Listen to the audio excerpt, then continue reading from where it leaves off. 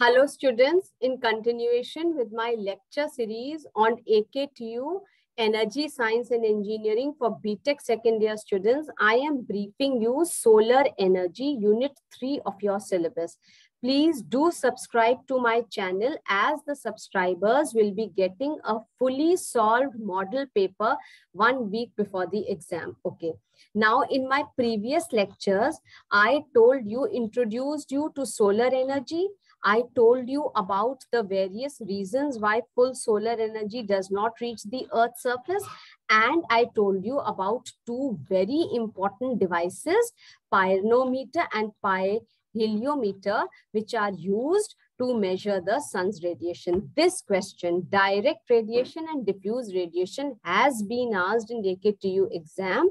In order to make it more clear, let me show you how I have demarcated it with the help of a table. See, direct means anything falling directly diffused means scattered in all the directions. So simply let me quickly tell you this answer because this is going to be a 10 mark question and you can very easily get 10 marks if you make this table. See, the direct radiations are going to have a unique path and definite direction, whereas the diffused radiations have been scattered by molecules, pollution particles, dust particles, etc. in the atmosphere.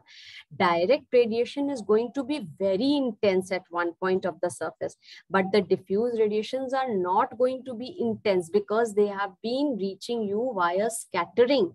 They have been absorbed. Their intensity is very less atmospheric conditions like clouds, pollution, etc. do manage to decrease my direct radiation. But atmospheric conditions like clouds, pollution, etc. increase more of my diffuse radiation the percentage of the sky's radiation that is direct is much lesser in higher latitude the percentage of the sky's radiation that is diffuse is much greater in higher latitude. Look at this diagram. See, can you see this? This is direct radiation. Wait, I'll show you. Make this diagram in your exam. See, this is my sun here. And look here. This light is falling directly on it. So this is direct radiation and look at this, these rays of light. They are not coming directly. They are coming through any type of other sources via scattering, via diffraction, etc. So I consider them under the category of diffuse radiation. This is important question, 10 mark, section C differentiate between direct and diffuse radiation. You can even draw this diagram when you are explaining your answer. Okay, as sunlight passes through the atmosphere, some of it is absorbed, some of it is scattered, some of it is reflected. These phenomena happen because of air molecule, cloud, dust, pollutants, forest fires, volcanoes, etc. So the Earth's surface, without being diffused, is uh, the ones that reach direct are known as direct radiations and the ones which get diffused are known as the diffused radiations. Okay. And obviously, we don't ever get 100% of what the sunlight is uh, uh, uh, there on the earth. Never ever does it happen that 100% beam reaches the earth's surface. If the atmosphere is very clear, no clouds, nothing, then you can say approximately 60 to 70%. The rest of the 30, 40% has got lost in scattering, diffusion, uh, diffraction, absorption, etc. So uh, you can say that the diffused uh, you, short wave radiation in which the wavelength ranges from 0.3 to 3 micrometer is coming directly from the sun long wave radiations with wavelength greater than 3 micrometer. Micro is 10 to the power of minus 6 or longer originates from sources at near ambient temperatures. The atmospheric processes which significantly affect the diffuse radiations are scattering and absorption. The more they get uh, I think this diagram has also been asked in your AKTU exam. See, this is my direct radiation reaching. This is the diffused radiation, reflected ones, longer waves reflected and longer sky wave. Different types of radiation at the earth's surface that really reach. Because this knowledge is very necessary before you go in for designing anything uh, from the concept of solar energy. So this is important scientists first measure the amount of sunlight that is falling on a specific location and different times of the year. I told you this point earlier also. Then they estimate the amount of sunlight which is falling on the region at the same latitude with similar climatic conditions. Measurement of solar energy are expressed as total radiation on a horizontal surface or as total radiation on a surface tracking the sun. Units of solar power and solar energy in SI units, section A question it was asked. Energy is expressed in joule. Other units that are used are calorie is a very common unit. You can mention calorie anywhere essential subsystems in a solar energy plant. This will again be repeated in unit 4 solar collector or concentrator. It receives solar rays and collects the energy. It may be flat plate type, parabolic trough type, paraboid dish, Fresnel lens, energy transport mediums, substances such as water, steam, liquid metal or gas, etc. are used to transport the thermal energy from the collector to the heat exchanger or thermal storage. Energy storage solar energy is not available continuously. So we store it during daytime and we use it at night. Thermal energy storage, battery storage, pumped storage, hydroelectric plant, etc. Energy conversion plant, the stored energy is converted for uses like electricity, etc power conditioning control and protection system, load requirement of electrical energy vary with time. The energy supply has certain specifications like industries will require a greater supply. Small household will require a lesser power supply. So that is going to depend from condition to condition. Subsystems in thermal energy uh, uh, conversion plants are basically, you memorize this according to requirement of hot water, hot air gas, thermal steam plant, receiver, solar thermal collector, solar energy. You remember this way. See, solar energy when it falls, it is collected by the solar collector. It is transported by the energy transport medium it is stored via whatever medium required. After storage, it is converted into whatever requirement is there. And the conversion is varied according to the voltage supply for my specific purpose, electric power here. So measurement of solar systems, I told you, semiconductor physics. Why is semiconductor physics important in solar uh, energy? Because my photovoltaic cells are designed based on the basic knowledge of semiconductor physics. This is very, very, very important from AKTU point of view. In this unit, you get a compulsory question on basics of semiconductor physics. So you will be very comfortable when you write the answer of semiconductor. What is a semiconductor? Semi means half, conductor is something that is able to conduct. So it is a substance whose resistivity is lying between conductors and insulators. The uh, semiconductors have resistivity which is less than insulators and more than conductors. They have negative temperature coefficient. Conducting property of a semiconductor changes when a suitable metallic impurity is added to it. This is the most important property because of which you are studying semiconductors in solar energy. Section A, question 2 mark. Why are semiconductors preferred in solar uh, energy? They are preferred because they can be conducting properties can be varied Otherwise, I will be restricted. But here, it will depend upon how much impurity I am adding. If I need it as an N type, I need it as a P type. And this variation and fluctuation is of great use for me while designing anything based on solar energy. So they are used extensively in the field of electronics.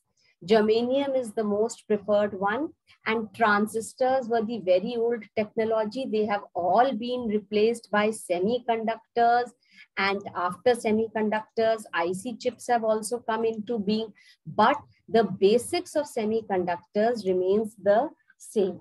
Like I will explain you in this diagram. See, it has been asked in AKTU and this must have been a 10 mark question. Semiconductors, intrinsic or pure semiconductors, extrinsic or impure semiconductors. When I add a certain amount of impurity here, then this gives rise to my p-type semiconductors and n-type. P-type have holes and n-type have electrons excess in them. Now, as per my requirement, I can choose whether I want a P type or I want an N type. So this is important, this diagram, which you can see on the screen for a 10 mark question, BTech second year paper you are going to write. It is a theoretical paper. Learn how to give answers like this in flow charts, in a table format, not just copy paste text. So please try to make flowcharts more for a 10 mark question. Try to make uh, comparative tables like this. All this will fetch you good marks for this theoretical paper. Intrinsic, extrinsic semiconductor, 10 mark question. Intrinsic semiconductors are the pure types, extrinsic ones are the impure type intrinsic depend on temperature only, extrinsic depend on temperature as well as the amount of impurity added. Electrical conductivity in this case is low. So if I need to design a very small apparatus, I will use an intrinsic semiconductor.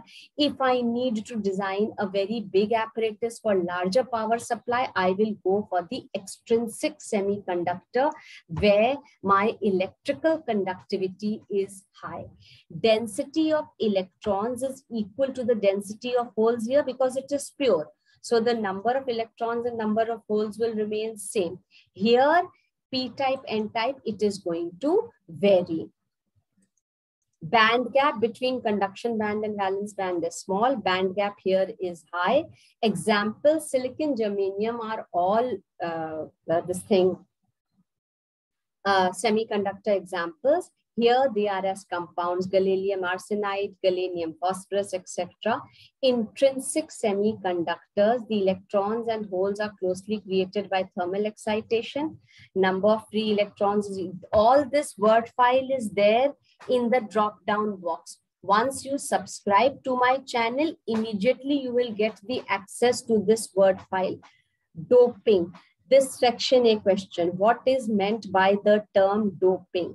The process of adding impurities is known as doping because the impurities added are generally pentavalent. Penta means five and trivalent. Tri means three. The pentavalent impurities have five electrons in their outermost orbit. Example, phosphorus, most common. Pentavalent atom becomes a donor atom. Why? because what happens is, look at this diagram here. See, suppose I add a pentavalent impurity. Penta means five. So four electrons will immediately take a bonding here. One will be remaining free and this free electron will constitute the electric current. So when impurity added to semiconductor will provide electrons for conduction. This way, p-type, I added trivalent impurity, that is 3. So in this case, 3 I have added, 3 will get bonded, 1 will remain free. that is a hole. So this is pentavalent impurity. One numerical of two marks was asked on this expression, law of mass action. At equilibrium, the product of majority and minority. Majority means if electrons are more, they become the majority. If holes are more, they become the majority. And my obviously, if electrons are majority, then holes will become minority and vice versa is a constant. And this is mathematically expressed by law of mass action. N naught P naught is equal to Ni square, where Ni is the intrinsic carrier concentration and N naught P naught are the electron and hole equilibrium carrier concentrations. What is meant by carrier transport in semiconductors? This is exactly what I explained you right now. Carrier, see, this electron lying here, this, this is a carrier. The hole here that is lying is a carrier. Why? Because now this is going to constitute the electric current. So any motion of free carriers in a semiconductor will lead to current. This can be caused by an electric field due to an externally applied voltage because the carriers are charged particles. And if one applies electric field to a semiconductor, the electrostatic forces cause the carriers to accelerate and reach a constant average velocity, after which they go ahead to mm, uh, carry the current. Section A question. Why is silicon preferred in semiconductors? Because the energy band gap is 0.7 electron, whereas for germanium, it is 0.2 electron. The thermal pair generation in this case is smaller. The formation of silicon oxide layer is easy for silicon, which helps in the manufacture of many components along with integration technology.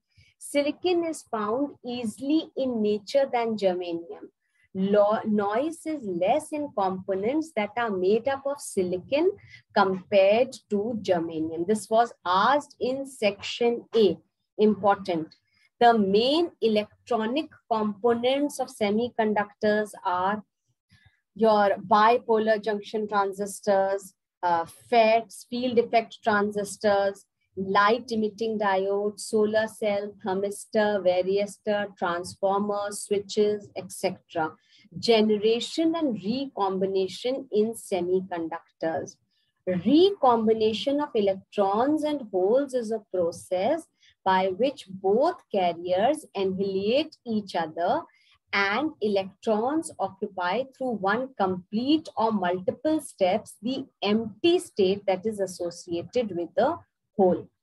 Carrier mechanism in semiconductors that I have explained you, carrier generation due to light absorption occurs if the photon energy is large enough to raise an electron from the valence band into an empty conduction band, thereby generating one electron hole pair the photon energy needs to be larger than the band gap energy to satisfy this condition.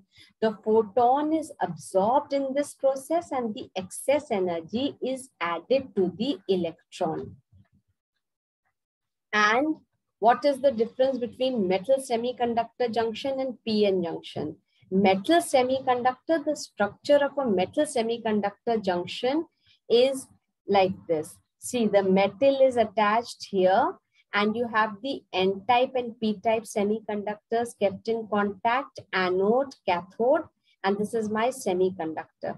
Structure and sign convention of a metal semiconductor junction. It has been asked in your exam. It consists of a metal contacting a piece of semiconductor, an ideal ohmic contact, a contact such that no potential exists between the metal and the semiconductor is made to the other side of the semiconductor. The barrier between the metal and the semiconductor can be identified by the energy band diagram. Energy band diagram, we first consider the energy band of the metal and semiconductor and align them using the vacuum level. As the metal and semiconductor are brought together, the Fermi energies of the metal and the semiconductor do not change right away this yields the flat energy bands. Basically, when you are combining a metal and a uh, semiconductor, forward bias and reverse bias, if the positive is connected to the p-type and negative is connected to the n-type, it is forward biasing and for the reverse process, it becomes reverse biasing a large current exists under forward bias, while as no, almost no carrier current exists under reverse bias. When a single semiconductor crystal manufactured with p-type material at one end and n-type material at the other end is joined, we get a p-n junction diode. And when they are combined, excess electrons or holes go into form the PN uh, depletion layer, which has to be cleared from time to time. Thank you.